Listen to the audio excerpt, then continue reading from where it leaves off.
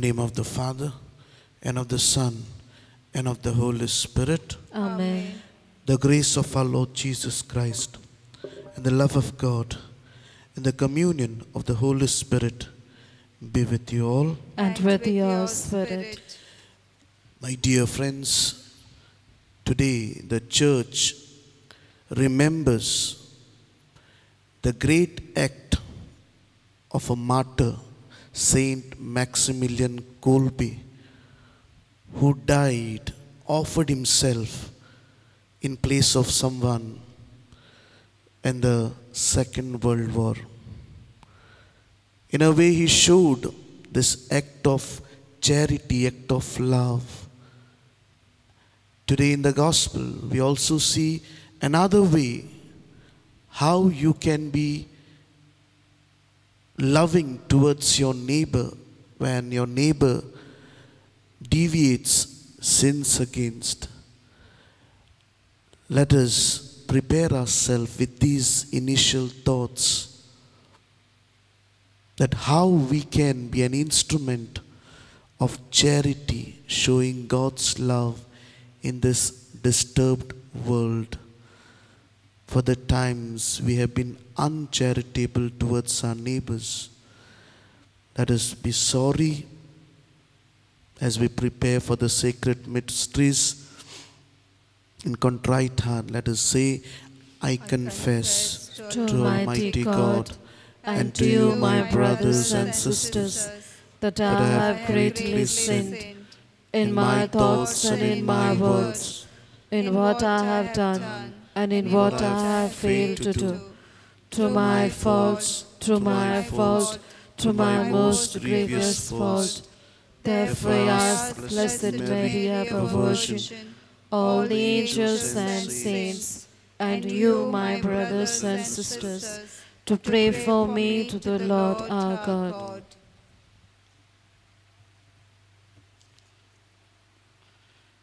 May Almighty God have mercy on us, forgive us our sins, and bring us to everlasting life. Amen. Lord, have mercy. Lord, have mercy. Christ, have mercy. Christ, have mercy. Lord, have mercy. Lord, have mercy. Let us pray.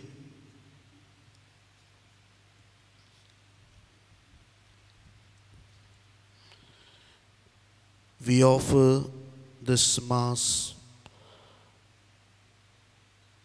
as thanksgiving offered by Milagreen Menezes. Let us pray for our sister. Also for John de Costa, for the 27th death anniversary of this brother. Let us pray so that God may grant him eternal rest to this holy sacrifice. We also pray for our sister Petu Matos, celebrating her 74th birthday. We pray for a good health and happiness in life. Let us also put our petitions. We are here at this holy place. Let us pray for our personal intention. Maximilian Kolbe is a patron of all drug addicts.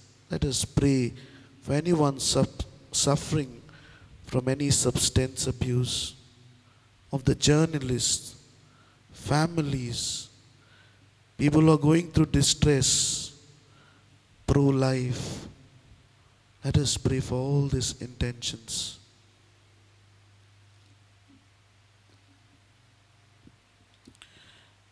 O God, who feel the priest and martyr Saint Maximilian Kolbe with a burning love for the Immaculate Virgin Mary and with zeal for souls and love of neighbor, graciously grant to his intercession that striving for your glory by eagerly serving others, we may be conformed even until death to your Son, who lives and reigns with you in the unity of the Holy Spirit, God, forever and ever.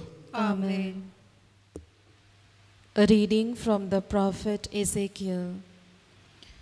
The Lord cried in my ears with a loud voice, saying, Bring near the executioners of the city, each with his destroying weapon in his hand. And behold, six men came from the direction of the upper gate, which faces north, each with his weapon for slaughter in his hand. And with them was a man clothed in linen, with a writing case at his waist. And when they went in and stood beside the bronze altar, now the glory of the God of Israel had gone up from the cherub on which it rested to the threshold of the house. And he called to the man clothed in linen, who had the writing case at his waist. And the Lord said to him, Pass through the city, through Jerusalem, and put a mark on the foreheads of the men who sigh and groan over all the over all the abominations that are committed in it. And to the others he said in my hearing, Pass through the city after him and strike. Your eye shall not spare, and you shall show no pity. Kill all men outright, young men and maidens, little children and women, but touch no one on whom is the mark. And begin at my sanctuary. So they began with the elders who were before the house. Then he said to them, Defile the house, and fill the courts with the slain. Go out. So they went out and stuck in the city. Then the glory of the Lord went out from the threshold of the house and stood over the cherubim. And the cherubim lifted up their wings and mounted up from the earth before my eyes as they went out, with the wheels beside them. And they stood at the entrance of the east gate of the house of the Lord, and the glory of the God of Israel was over them. These were the living creatures that I saw underneath the God of Israel by the Chebar canal. And I knew that they were cherubim. Each had four faces and each four wings, and underneath their wings the likeness of human hands. And as for the likeness of their faces, they were the same faces whose appearance I had seen by the Chebar canal. Each one of them went straight forward. The word of the Lord. Thanks be to God.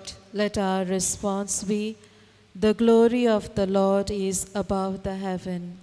The, The glory of the Lord is above the heavens. Praise, O servants of the Lord. Praise the name of the Lord. May the name of the Lord be blessed, both now and forevermore. Response The, The glory of the Lord is above the heavens. From the rising of the sun to its setting, praised be the name of the Lord. High above all nations is the Lord, above the heavens his glory. Response The The glory of the Lord is above the heavens. Who is like the Lord our God, who dwells on high, who lowers himself to look down upon heaven and earth? Response The glory of the Lord is above the heavens. Kindly stand for the gospel.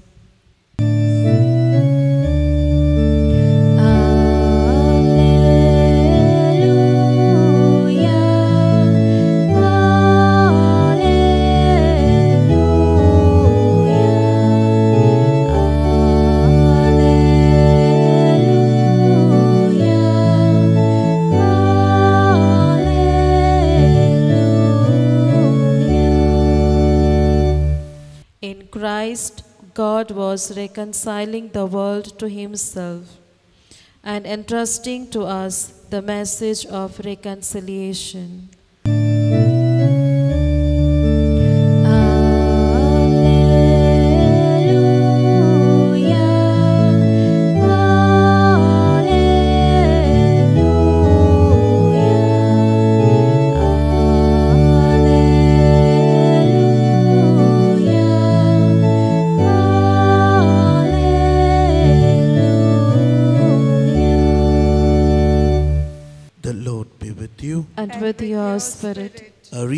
From the Holy Gospel according to Matthew. glory to you, O Lord. At that time, Jesus said to his disciples, If your brother sins against you, go and tell him his fault between you and him alone. If he listens to you, you have gained your brother. But if he does not listen, take one or two others along with you and every charge may be established by the evidence of two or three witnesses. But if he refuses to listen to them, tell it to the church. And if he refuses to listen even to the church, let him be to you as a Gentile and a tax collector.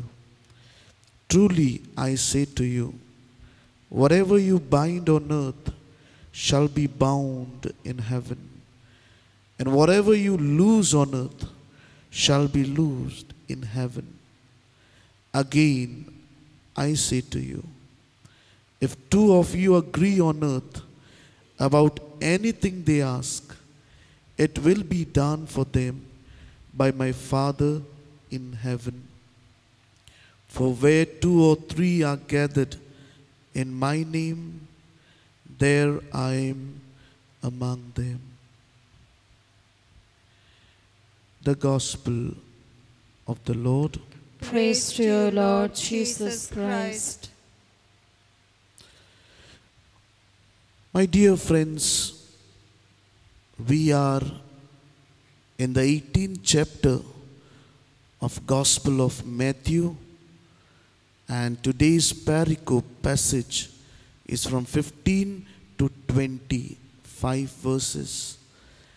And in these five verses, the biblical scholars would divide this passage into two. One is correction, fraternal correction, and one is prayer in common. Correction, correcting somebody is a difficult task. It is not so easy to go and correct, settle the issue. But today, Jesus gives us a beautiful methodology, a guiding textbook type of reconciliation, correction to the brothers and sisters. Here it is, brother. Let's be inclusive in our language to brothers and sisters. And the main mind behind any correction should be love. I hear many times, Father, I gave him right and left. I, I corrected him. I gave him tit for tat. This is not correction that Jesus wants here. I correct because I want to correct. No, my friends. I correct because I feel hurt within, yet I correct. So, the basic premise of correction is love. When you don't feel love for that brother or sister, the correction has no meaning. In fact, the correction could be retaliation or a revenge that you want to seek. I read it somewhere. The person said this if you want to correct somebody and you feel happy within to correct him, that means you are not correcting with a genuine reason. You are correcting maybe to settle scores, but you feel difficult. You feel really hard to correct, and yet, with the help of Holy Spirit, you correct. That means that correction is genuine. First thing he says is, you know, our thing is when somebody hurts us, wrongs us, we tell the whole world, we isolate that person. That person doesn't know anything, but the whole mohalla, the whole village, the whole neighborhood, the whole workplace knows everything. But poor person doesn't know anything. Jesus says, first, before telling the world, that's the last resort. You go in silence, in, in, in privacy, alone. You go to that brother, you go to that sister, and then start settling. Tell him what wrong he has done or she has done alone. Between you and the person who has done wrong. If he doesn't listen to you, then you get good two, three persons who have good repute, not the ones who will tell the whole world and then settle it nicely.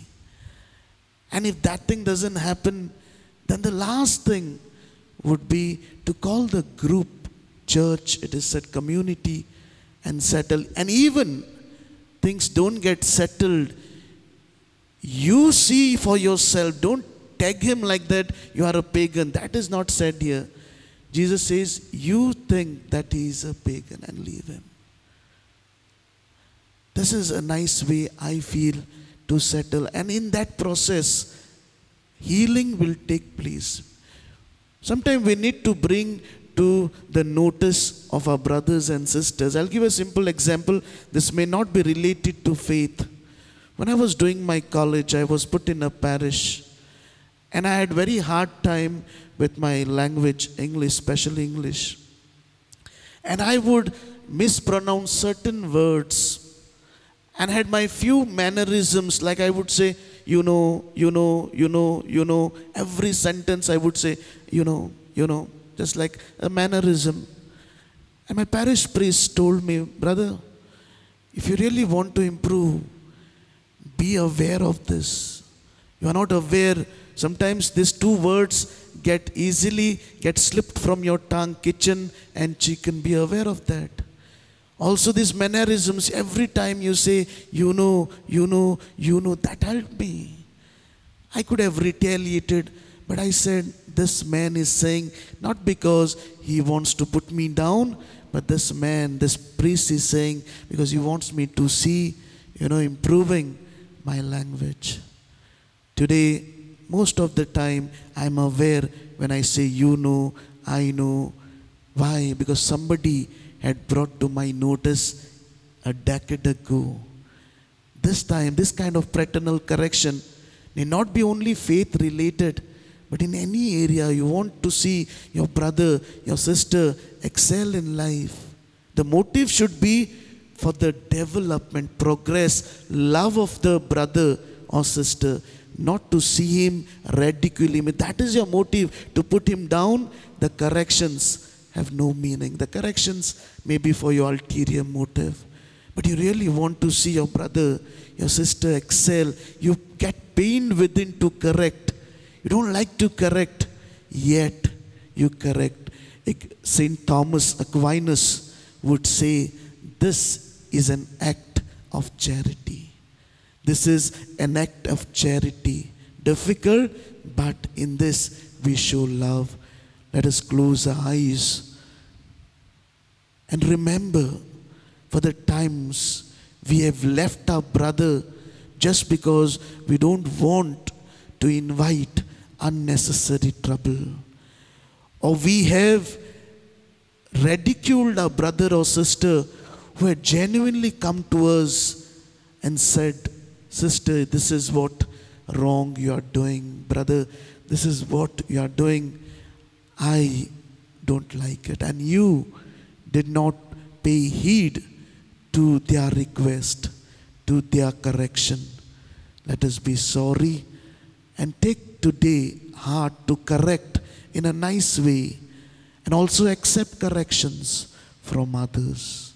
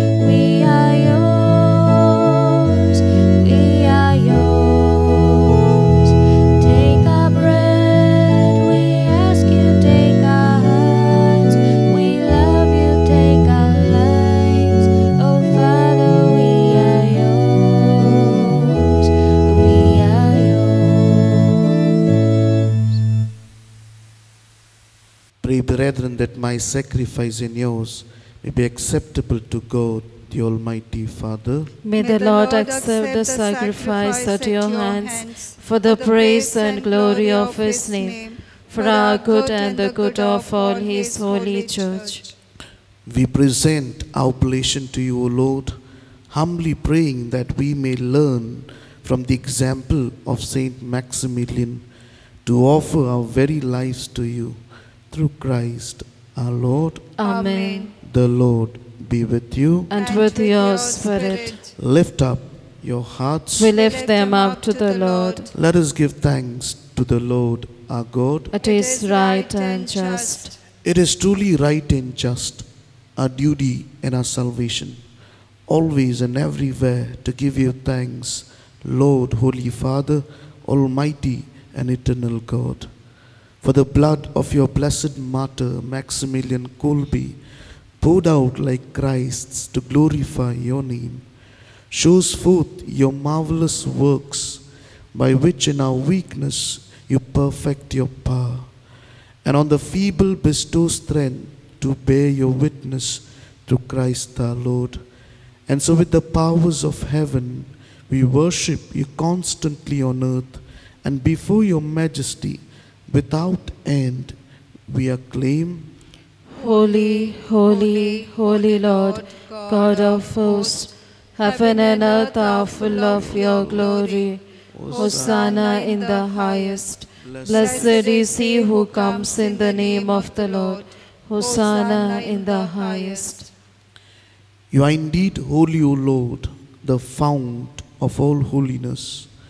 Make holy, therefore, these gifts, we pray, by sending down your Spirit upon them like the dewfall, so that they may become for us the body and blood of our Lord Jesus Christ. At the time he was betrayed and entered willingly into his passion, he took bread and giving thanks, broke it and gave it to his disciples, saying, Take this, all of you, and eat of it. For this is my body, which will be given up for you.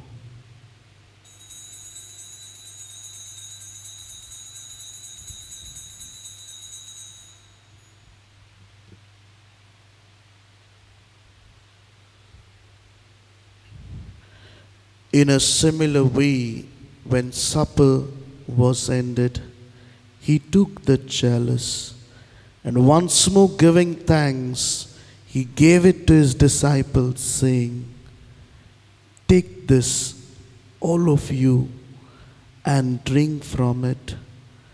For this is the chalice of my blood, the blood of the new and eternal covenant, which will be poured out for you and for many for the forgiveness of sins.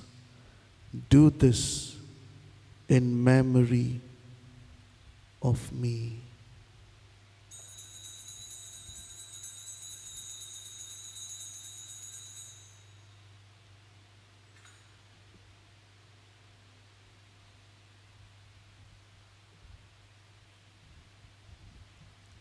The mystery of faith.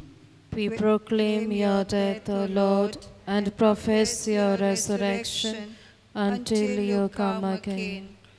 Therefore, as we celebrate the memorial of his death and resurrection, we offer you, Lord, the bread of life and the chalice of salvation, giving thanks that you have held us worthy to be in your presence and minister to you. Humbly we pray that partaking of the body and blood of Christ, we may be gathered into one by the Holy Spirit. Remember, Lord, your church spread throughout the world and bring her to the fullness of charity, together with Francis, our Pope, Philip Neri, our Bishop, Simeon, our auxiliary bishop, and all the clergy. Remember also our brothers and sisters who have fallen asleep in the hope of the resurrection, and all who have died in your mercy, welcome them into the light of your face.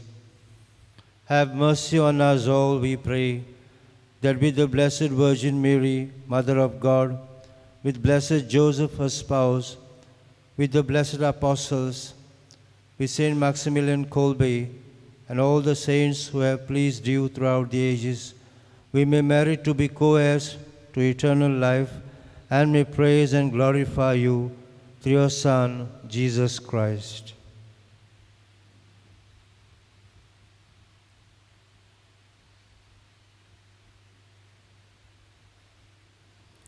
through him and with him and in him. O God, Almighty Father, in the unity of the Holy Spirit, all glory and honor is yours forever and ever. Amen. At Saviour's command and formed by divine teaching, we dare to say, Our, Our Father, who art in heaven, hallowed be thy name. Thy kingdom come, thy will be done, on earth as it is in heaven. Give us this day our daily bread, Forgive us our trespasses, as we forgive those who trespass against us. and lead us not into temptation, but deliver us from evil. Deliver us, Lord, we pray, from every evil. Graciously grant our peace in our days, that by the help of your mercy we may be always free from sin and safe from all distress, as we await the blessed hope and the coming of our Savior, Jesus Christ. For the kingdom, the power, and the glory are yours, now and forever. Lord Jesus Christ, you said to your apostles, Peace I leave you, my peace I give you. Look not on our sins, but on the faith of your church, and graciously grant her peace and unity in accordance with your will, who live and reign forever and ever. Amen. The peace of the Lord be with you always. And with your spirit. Let us offer each other the sign of peace.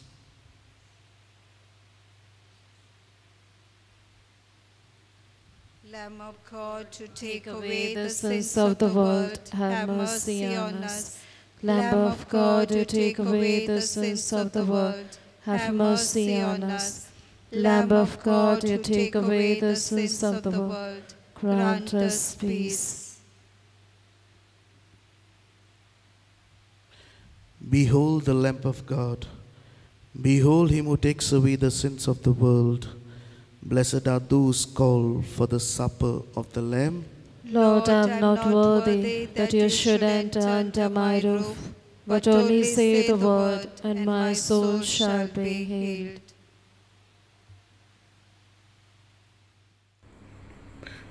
Spiritual Communion Prayer. My Jesus, I believe that you are present in the most holy sacrament of the altar. I love you above all things, and I desire to receive you into my soul. Since I cannot at this moment receive you sacramentally, come at least spiritually into my heart. I embrace you as if you are already there and unite my soul wholly to you. Never permit me to be separated from you. Amen.